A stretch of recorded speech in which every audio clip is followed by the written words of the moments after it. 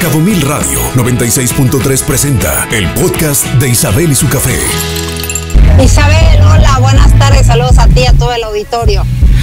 Qué gusto, bienvenida de verdad un tema que vale la pena darle continuidad, el cuidado del pudor y la prevención de abuso sexual infantil. ¿En qué nos quedamos el lunes pasado? Bueno, recapitulando rápidamente el tema del cuidado del pudor, recordemos que el pudor es algo bueno, es como una alerta del cuerpo de cuidar nuestra intimidad, de cuidar a nosotros mismos. Entonces, el enseñar a un niño desde pequeño, oye, ¿por qué se tapa uno? ¿Por qué no usa ropa interior? Es decir, nadie puede ver lo que está cubierto en tu ropa interior. Entonces, el enseñar que el pudor y el cuidado es algo bueno, ¿por qué? Porque es cuidarse a uno mismo. Y como lo decía, es como que tengas una joya Tú no vas mostrando una joya hermosa y brillante por las calles de la ciudad para ver si alguien te la roba. Tú la cuidas, tú no la muestras a cualquiera, por supuesto que no. Bueno, es el tema del pudor. Cuido mi cuerpo, cuido mi intimidad. ¿Por qué no enseño de más? ¿Por qué enseño a mis hijos a que aprendan a respetarse ellos mismos y también a respetar a los demás sobre este tema? Y aquí es donde lo linkeamos, lo unimos con el tema de prevención de abuso sexual infantil. ¿Y por qué?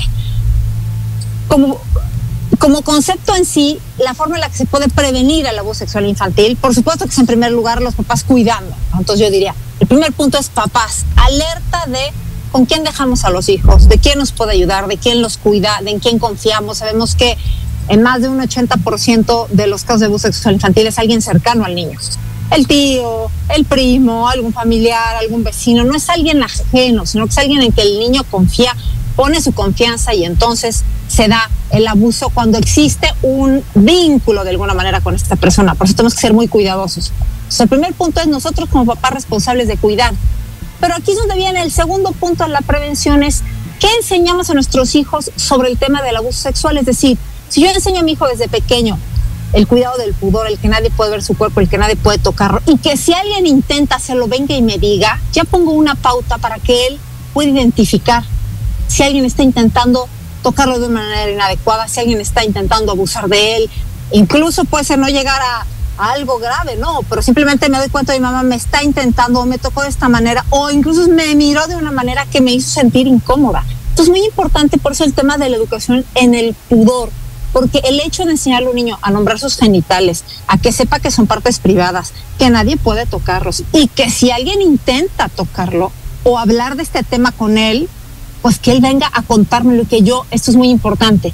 Yo siempre te voy a creer, mijito. Siempre te voy a creer a ti, mijita linda, porque lo que sucede mucho es que los abusadores es un tema de chantaje. Y si tú comentas esto, tus papás no te van a creer.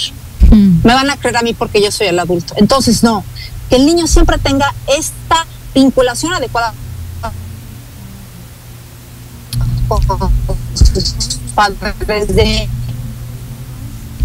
Doctora Rosario, se nos está cortando la señal. de autoestima es el tercer punto importantísimo, formar en los hijos. Sí. Perdón, perdimos la señal por un momento. Nos quedamos en el segundo punto, perdón. Sí, y mira, el tercer punto es este, autoestima. Es decir, cómo como papá, como mamá voy forjando esa autoestima en mi hijo, de que él tenga confianza en sí mismo, por supuesto, pero en mí como papá. Es decir, ¿cómo logro yo generar en él que ante una situación de un posible abuso, el abusador nunca crea que mi hijo no va a venir a decirme a mí, sino que logre darse cuenta que tenemos tal relación, mi hijo, mi hija y yo, que ellos van a venir conmigo y que yo siempre les voy a creer. Ese es un tema bien importante forjar en los hijos, decir, mijito, ante cualquier situación que te suceda, tú vienes conmigo y yo siempre te voy a creer a ti. Si alguien intenta hacerte algo feo, yo siempre te voy a hacer caso a ti, te voy a creer a ti, te voy a defender. Eso hace que el niño se sienta seguro de sí mismo, se sienta querido, se sienta respetado por sus padres y entonces otra barrera más para prevenir el abuso. Hay que reconocer que muchas veces no nos damos cuenta, pero es, digamos, tan doloroso que nos puedan decir o compartir que se sienten incómodos con alguien o que, o que alguien ha hecho algo que eh, em, que los niños lo perciben. O sea, ellos, los niños son tan sensibles que saben que la información nos puede causar dolor y muchas veces los niños nos quieren proteger. Pero cuando por fin se acercan, sea por algo relacionado a esto o alguna otra cosa, tenemos que tener cuidados con nuestra reacción y nuestras respuestas, doctora Rosario. Eh, porque si eh, podemos bloquear para siempre este canal de comunicación y hacer que las cosas solo empeoren. Así es, siempre ser muy cuidadosos. Por supuesto que ante un abuso el niño nunca es culpable, nunca, nunca, nunca, nunca. El niño nunca pudo provocar el abuso, el niño nunca es culpable, siempre el adulto o la persona mayor que él, el abusador. Entonces siempre con cariño ante cualquier situación, con un abrazo, escuchando, diciendo, te creo a ti, siempre te voy a creer, siempre voy a estar aquí para cuidarte, para protegerte.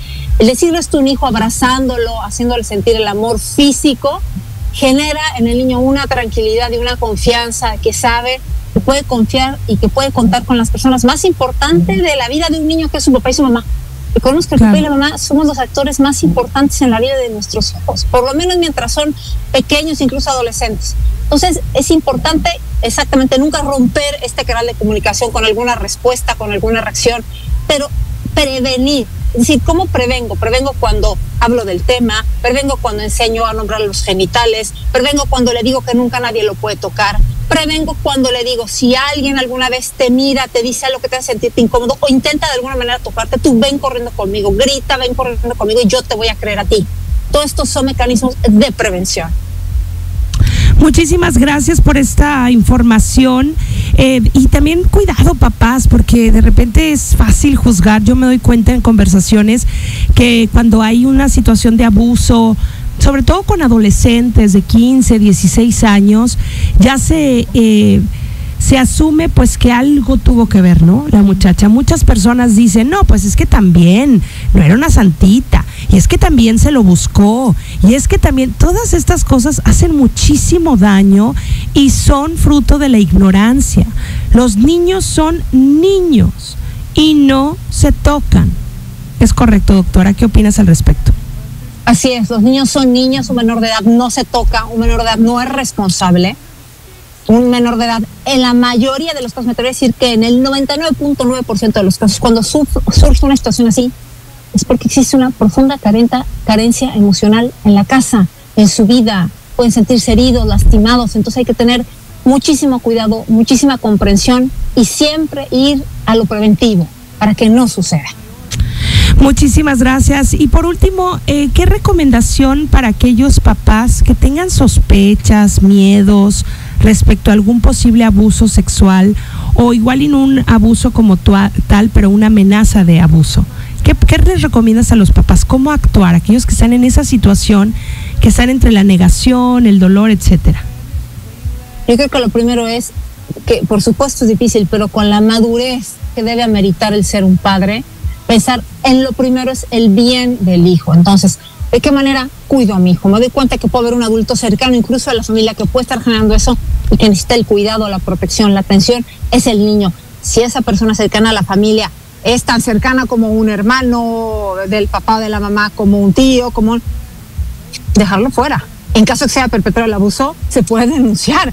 Pero es decir, no porque pueda venir una posible ruptura familiar o un conflicto familiar, entonces el que sale lastimado es el niño porque como papá no lo quiero enfrentar, no. Recordemos que los niños son la primera responsabilidad en casa, papá, si tienes hijos, hijas, eres el responsable de cuidar el alma de ese niño, la vida espiritual, la vida emocional, la vida intelectual, la integridad de ese niño y tienes que poner todo, todas las mayores condiciones para lograrlo, aunque eso implique el romper con un hermano, con un tío, con los propios padres, no importa. La prioridad son los niños. Es doloroso por donde me la pongas, pero si tenemos claras las prioridades, las decisiones son más fáciles. Y creo que acabas de dar en el clavo. No es la familia, no es el compadre, no es el tío, no es incluso los padres, porque sí se da el abuso también por parte de los abuelos. La prioridad siempre son los niños. Y si ya, ya sucedió, el negarlo, el no querer verlo, el no afrontarlo, solo complica las cosas y tendrá consecuencias graves en la historia de esa criatura. Pero el reconocerlo, el trabajarlo, en hacer lo que procede, en atenderlo, también puede cambiar las cosas. Así que bueno. Em, Rosario, vía de contacto para continuar esta conversación con el contenido que está en tus redes. Gracias. En el Instagram me encuentran como doctora, la abreviación de doctora, DRA Rosario Laris. DRA Rosario Laris. Laris, Así en el Instagram. encuentran a la doctora Rosario Laris, que por cierto estuviste hace poco, Rosario, en un programa a nivel nacional, te vimos por ahí. Así es, estuve en algunos noticieros la semana pasada con el tema de la eh, despenalización del aborto que quieren dar las congresistas en la Ciudad de México hasta los nueve meses, así que estuvimos en el debate sobre el tema. Interesante, pues muy bien y ahí véalo por favor en las redes. Te mando un fuerte abrazo y hasta el próximo lunes. Gracias, saludos. Escucha Isabel y su café por Cabo Mil Radio 96.3. Siempre contigo.